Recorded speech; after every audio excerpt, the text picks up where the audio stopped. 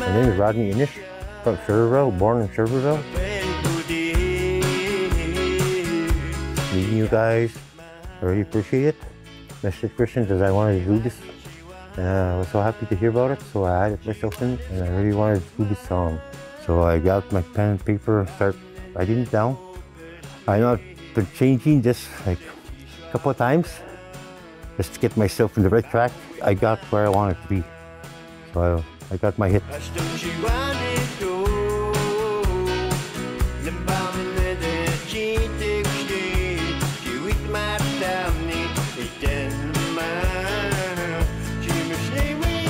This is the song for, for a girl. Uh, when I met her at the, the bar.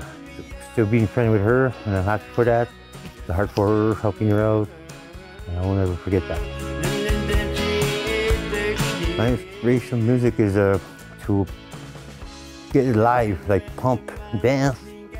Today is no more crying. Just push yourself into it and uh, sing so people can be happy with it.